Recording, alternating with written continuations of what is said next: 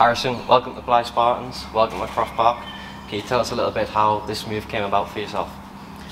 Um, so I come, I was up in Scotland and I come back down here in January um, to go to Gateshead and then obviously was a free agent uh, following the season finishing. So um, just just spoke to spoke to Fence and um, and tried to get tried to get something done as soon as possible. Really, it's local to me, so thought it was a, it was a great opportunity to come here and, and, play my football with it being so local and such a big club. So yeah. As you say, coming back down from Scotland, signing for Gateshead around January February time, yeah.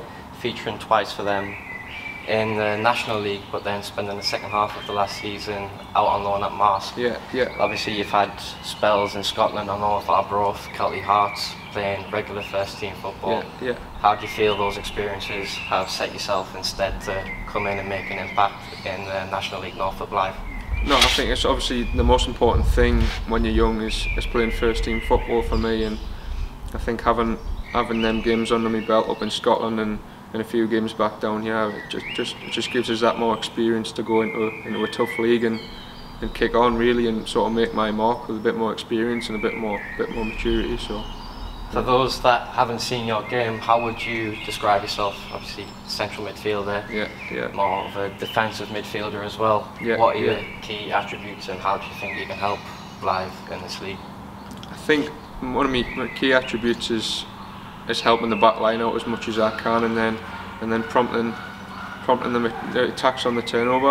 Um, so so cutting out cutting out the attack from the opposition, and then and then going forward as, as quick as possible, and more than likely letting the other boys up up top do do the work. So.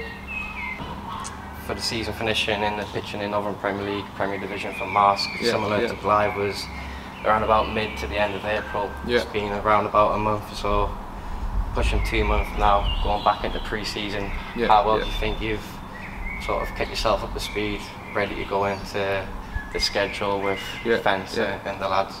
No, to be fair, I, I don't like having rest days too much, so I think I had a week off, a week away on holiday, then then I was right back at it, like to try and to try and get myself as sharp and as fit as possible for coming into pre-season with Fence, like because no doubt, no doubt we'll get battered, but no, just just trying to stay trying to stay ticking and, and sort of the last three four weeks just been pushing on to try and get as fit as possible, ready ready for the season, like so.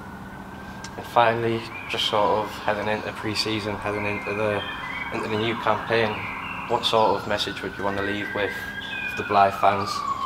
No, I'm just just just delighted to come here and and um, and, and try and help out the club as much as possible. Try and try and get up as, as far up that league as possible. Like just just make my mark as much as I can. But um, I'm just delighted to come here. It's local to me. A, it's a great club, great fan base. Got big history. So no, just delighted to, to get on board and, and help out as much as I can.